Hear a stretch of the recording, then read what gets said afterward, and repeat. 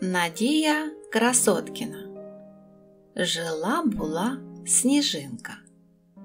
Казка про природу.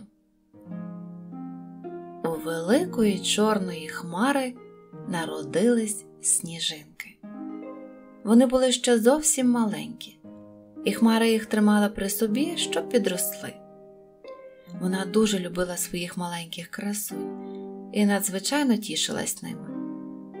Хмара носилася з ними над землею і показувала маленьким сніжинкам довкілля, яке вони колись, коли підростуть, зроблять білим-білим, і тоді люди називатимуть свою землю білим світом.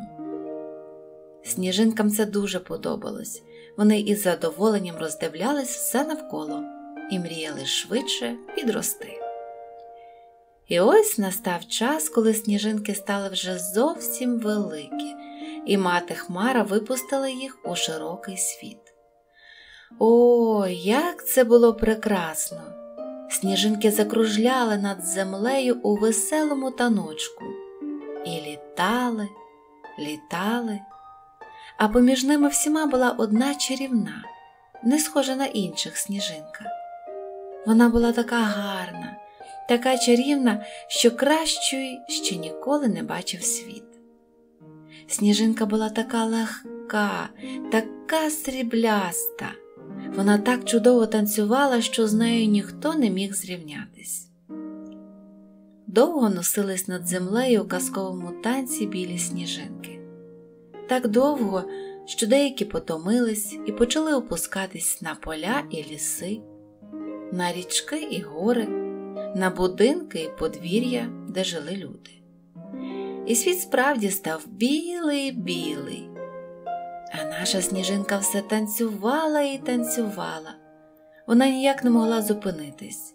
Так їй подобалось літати високо, кружляти в морозному повітрі і все навколо бачити.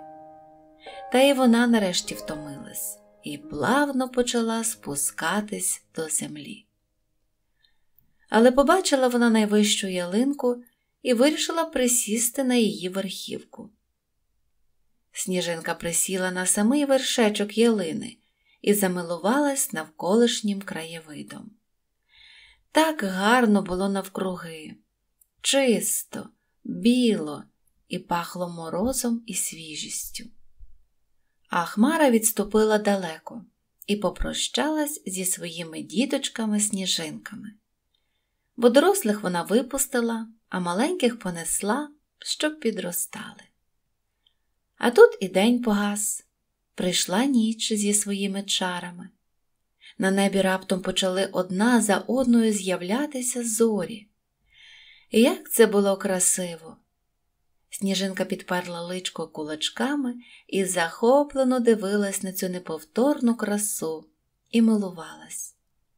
Вона була дуже щаслива, що народилась на світ, і мала можливість милуватись цим дивом. Пройшла ніч чарівниця, і на сході почало світліти. Зорі почали гаснути. Ви бачили, як зникають зорі? Сніжинка мало не розплакалась, але тут вона побачила ще більше диво. Раптом на небо випливло чарівне малинове сонце. Воно було таке велике і гарне, що сніжинка аж засяяла від радості. Такого вона ще не бачила, бо в хмарі, де вона народилась, було тісно і темно, а тут така краса. Їй знову захотілося піднятися високо і танцювати, танцювати. А легкий вітерець, що поруч сидів, теж захотів потанцювати і політати. Тому він підхопив сніжинку і вони вдвох закружляли у веселому вальсі. Вранішнє проміння освітлювало все навколо, і в його промінні сніжинка вигравала, виблискувала всіма барвами веселки. Це був неповторний час. Довго вони танцювали, а коли втомлювались, то присідали то на одну гілочку, то на іншу, аж поки зовсім не стомилась сніжинка і тоді заніс її вітер аж під густу ялину. Там сніжинка і залишилась. Та ви не подумайте, що під ялиною їй було погано. Зовсім ні. А навпаки, вона почувала себе дуже затишно. Поруч було багато подружок, з якими було про що поговорити, бо кожна багато побачила. А ще вона тут побачила стільки цікавого, що могла б годинами розповідати дітям казки і різні оповідання.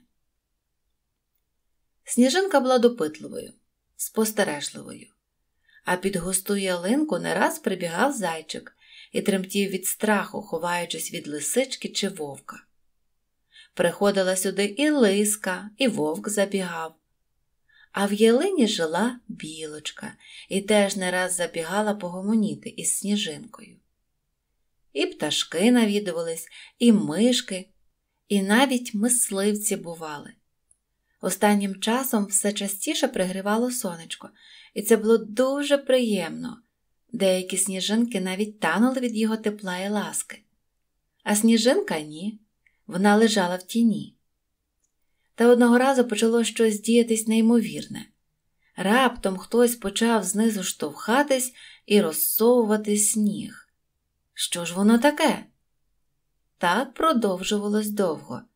Але ось з'явився на світ підсніжник. Він був біленький, а листячко ніжне і зелененьке. Квітка була жива. Це дуже здивувало сніжинку. Вона була зачарована. А підсніжники почали рости і рости. Їх стало тут багато, бо прийшла весна. А як вона приходить, то зразу землю квітами засіває, щоб усі бачили і не сумнівалися в цьому. Сніжинка навіть трохи зажурилася, бо не знала, що з нею буде. А невідомість завжди лякає. Це ж зрозуміло.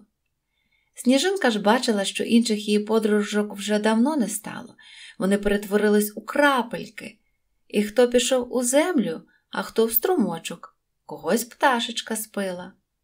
А що буде з нею?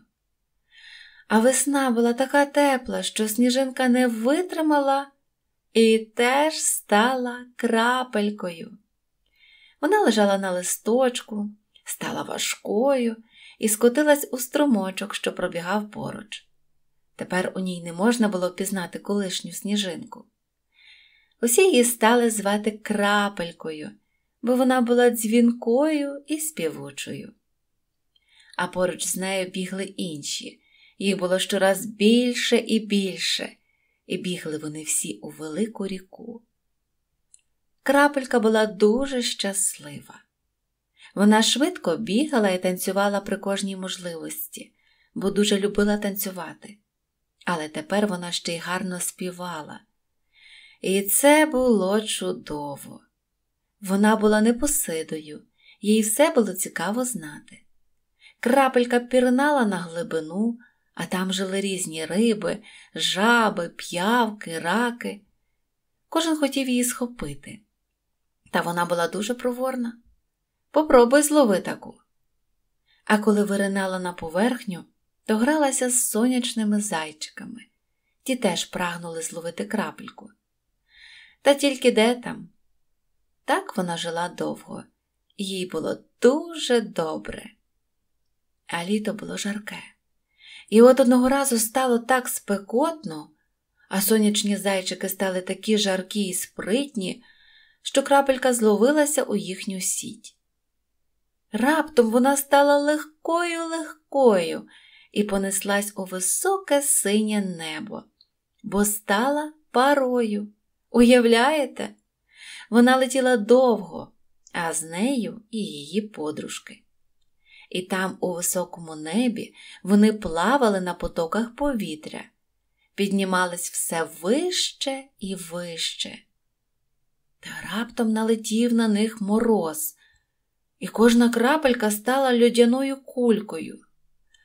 Ой, як це було цікаво! Та так було не дуже довго, бо вони не витримали і попадали на землю з шумом та громом. А діти дивувались і питали, чого лід улітку з неба летить. А це був град. Він довго не пролежав, а зразу ж і розтанув, бо пригріло після грози сонечко, і людяні кульки потекли струмочком у річку. І знову крапелька жила у річці, як і належить всім крапелькам. Було якось дуже тепло у воді. От крапелька вирішила у вечорову годину полежати на поверхні ріки та на зорі подивитись. Лягла вона, лежить, аж тут не щулась, як у повітря піднялась, випарувалась. Та так їй легко, так хороше. Стала вона плавати в густому білому тумані, та недовго, бо повітря схолонуло і випала крапелька на квіточку росою. Так пролежала вона аж до ранку. А вранці пригріло сонечко, крапелька скотилась на пелюсточку. Як їй було добре. Пелюстки квіточки були ніжні і прохолодні, а колір такий багряний що від нього крапелька грала і переливалась на сонечку чарівним кольором. Квіточка розпрямила пелюсточки, і крапелька впала на землю та й покотилась. А потім вона потрапила в підземне царство.